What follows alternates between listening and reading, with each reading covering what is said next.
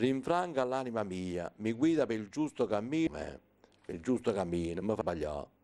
A me tu prepari una mensa sotto gli occhi dei miei nemici, un cidiolo nel mio capo e il mio calice tra bocca. Quindi qua però c'è un passaggio del pastore delle pecore, ma quel pastore che è lì e che a un certo punto sarà messo a morte.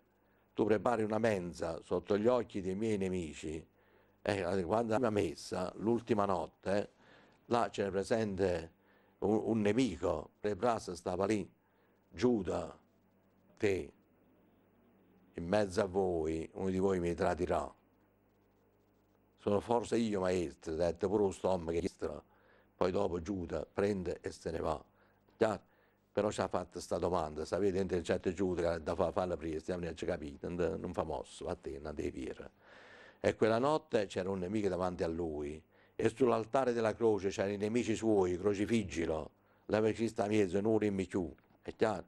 E perché è stato ucciso? Che lui ha rispettato il Padre suo, per non per fare la mia volontà, ma la volontà di colui che mi ha mandato.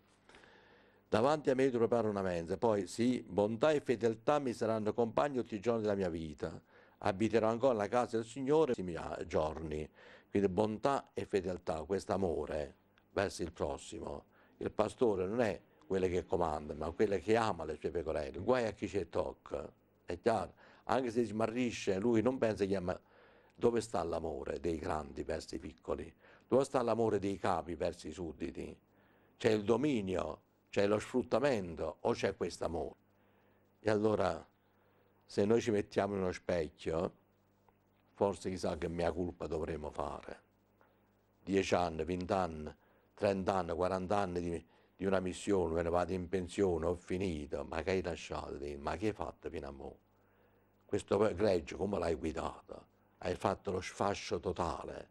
O veramente hai saputo riunire le tue mani coloro che hanno bisogno del tuo aiuto, del tuo coraggio, della tua fede, dei tuoi sentimenti, della tua fedeltà, della tua giustizia, della tua onestà soprattutto, che hai fatto? E a termine di 40 anni ti prenderai pure una bella pensione e quando andrai davanti a Dio avrai una brutta sentenza con quale coscienza ti presenterai. Allora adesso vediamo la seconda lettura che tratta dalla prima lettera, versetti 20, 26, 28. Cristo è risorto dai morti perché se per mezzo di un uomo venne la morte, per mezzo di un uomo verrà anche la risurrezione dei morti. In Adamo tutti muoiono, così tutti riceveranno la vita.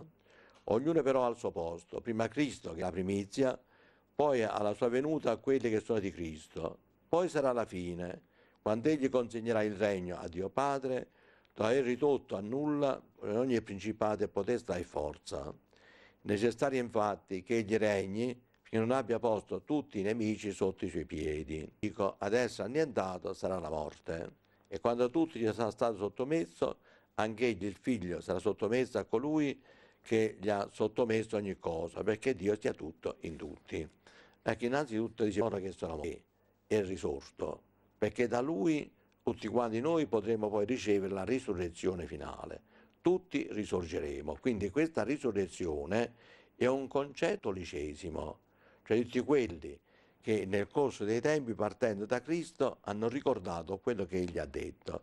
Come lui è risorto, risorgeremo anche. E poi, perché se per mezzo di un uomo viene la morte, per mezzo di un uomo verrà anche la risurrezione dei morti. Cioè mentre Adamo, peccando, ha provocato questo senso di distruzione e di morte, per mezzo di Gesù invece noi avremo la risurrezione per una vita a Vash, all'inferno.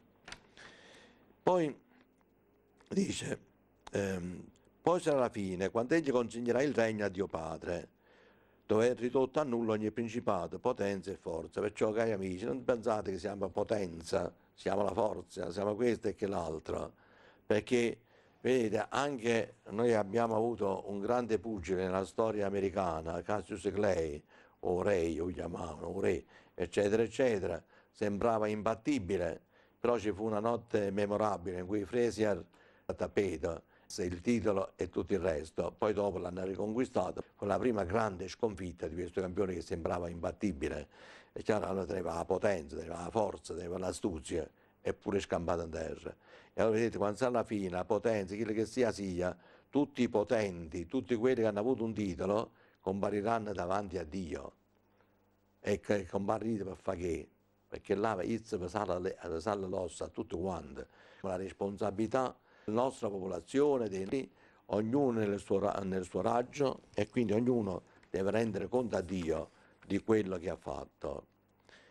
Poi ehm, queste persone, tutti quanti questi anime, tutti quanti compariremo davanti al Signore. Poi dice l'ultimo nemico sarà la morte, perché da allora in poi, quando sarà finito il mondo, la morte non esisterà più, noi saremo gli immortali, cioè non moriremo più, gli immortali.